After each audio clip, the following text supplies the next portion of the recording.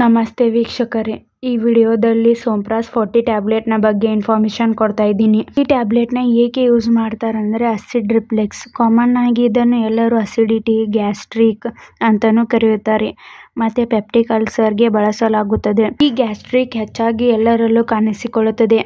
ಇದು ಹೊಟ್ಟೆಯಲ್ಲಿ ಹಸಿರಿನ ಪ್ರಮಾಣ ಜಾಸ್ತಿ ಆಗ್ತಾ ಇದ್ದರೆ ಅದನ್ನು ಈ ಸೋಂಪ್ರಾಸ್ ಫೋರ್ಟಿ ಟ್ಯಾಬ್ಲೆಟ್ ಕಡಿಮೆ ಮಾಡಲು ಸಹಾಯ ಮಾಡುತ್ತದೆ. ಮತ್ತು ನಿಮಗೇನಾದರೂ ಎದೆಯುರಿ ಆಸಿಡ್ ರಿಫ್ಲೆಕ್ಸ್ಗೆ ಸಂಬಂಧಿಸಿದ ನೋವನ್ನು ಕೂಡ ನಿವಾರಣೆ ಮಾಡುತ್ತದೆ.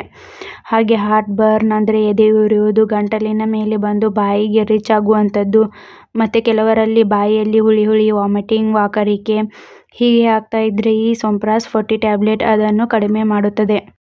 ಮತ್ತು ಈ ಟ್ಯಾಬ್ಲೆಟ್ನ ಪೆಪ್ಟಿಕ್ ಅಲ್ಸರ್ ಅಂದ್ರೆ ಹೊಟ್ಟೆಯಲ್ಲಿ ಹುಣ್ಣು ಆಗಿದ್ರು ಕೂಡ ಬಳಸಲಾಗುತ್ತದೆ. ಈ ಟ್ಯಾಬ್ಲೆಟ್ನ ಹೇಗೆ ಯೂಸ್ ಮಾಡಬೇಕಂದ್ರೆ ಮಾರ್ನಿಂಗ್ ಟೈಮ್ ಅಲ್ಲಿ ಖಾಲಿ ಹೊಟ್ಟೆಯಲ್ಲಿ ತೆಗೆದುಕೊಳ್ಳಬೇಕು ಮತ್ತು ಈ ಟ್ಯಾಬ್ಲೆಟ್ನ ಡಾಕ್ಟರ್ಸ್ ನಿಮಗೆ ಎಷ್ಟು ಡೇಸ್ ಪ್ರಿಸ್ಕ್ರೈಬ್ಡ್ ಮಾಡಿರುತ್ತಾರೋ ಅಷ್ಟು ಮಾತ್ರ ತೆಗೆದುಕೊಳ್ಳಿ. ಈ ಟ್ಯಾಬ್ಲೆಟ್ ಹೇಗೆ ವರ್ಕ್ ಮಾಡುತ್ತೆ ಅಂದ್ರೆ ಇದರಲ್ಲಿ ಇಸೋಮಿಪ್ರಾಝೋಲ್ ಎಂಬ ಮೆಡಿಸಿನ್ ಇದೆ. ಇದು ಒಂದು ಪ್ರೋಟಾನ್ನ ಪಂಪ್ ಇನಿಬಿಟರ್ ಆಗಿದೆ. ಇದು ಹೊಟ್ಟೆಯಲ್ಲಿ ಆಗುವಂತ ಅಸಿಡಿಟಿ ಜಾಸ್ತಿ ಇನ್ಕ್ರೀಸ್ ಆಗ್ತಾ ಇದ್ರೆ ಅದನ್ನು ಕಡಿಮೆ ಮಾಡಲು ಸಹಾಯ ಮಾಡುತ್ತದೆ. ಮತ್ತೆ ಎದೆಯುರಿ ಕೂಡ ಕಮ್ಮಿ ಮಾಡಲು ಸಹಾಯ ಮಾಡುತ್ತದೆ. ಈ ಟ್ಯಾಬ್ಲೆಟ್ನ ಸೈಡ್ ಎಫೆಕ್ಟ್ಸ್. ಹೊಟ್ಟೆ ನೋವು, ವಾಯು, ಬಾಯಿಯಲ್ಲಿ ಶುಷ್ಕತೆ ಮತ್ತು ತಲೆನೋವು. ಈ ಟ್ಯಾಬ್ಲೆಟ್ ಹೆಚ್ಚಾಗಿ ತಲೆ ತಿರುಗುವಿಕೆ ಮತ್ತು ನಿದ್ರಾಹೀನತೆಯನ್ನು ಮಾಡುತ್ತದೆ. ಈ ಅಸಿಡಿಟಿ ಜಾಸ್ತಿ ಹೇಗೆ ಕಾಣಿಸಿಕೊಳ್ಳುತ್ತೆ ಅಂದರೆ ಅಜೀರ್ಣ ಆಹಾರ.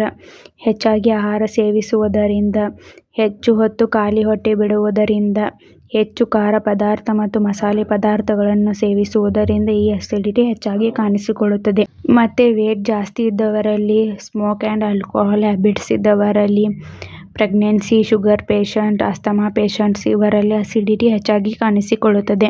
ಈ ಟ್ಯಾಬ್ಲೆಟ್ನ ಇಂಡೈಜೆಷನ್ಗೂ ಕೂಡ ಬಳಸಲಾಗುತ್ತದೆ. ಹಾಗೆ ಈ ಟ್ಯಾಬ್ಲೆಟ್ನ ತೆಗೆದುಕೊಳ್ಳುವ ಮೊದಲು ಡಾಕ್ಟರ್ಸ್ನ ಕನ್ಸಲ್ಟ್ ಮಾಡಿ ತೆಗೆದುಕೊಳ್ಳಿ. ಹಾಗೆ ಯಾವುದೇ ಮೆಡಿಸಿನ್ ತೆಗೆದುಕೊಳ್ಳುವ ಮೊದಲು ಡಾಕ್ಟರ್ಸ್ನ ಭೇಟಿ ಮಾಡಿ ತಿಳಿದುಕೊಳ್ಳಿ. ಈ ವಿಡಿಯೋ ನಿಮಗೆ ಇಷ್ಟ ಆಗಿದ್ದರೆ ಲೈಕ್ ಮಾಡಿ, ಕಮೆಂಟ್ ಮಾಡಿ, ಶೇರ್ ಮಾಡಿ. Thank you.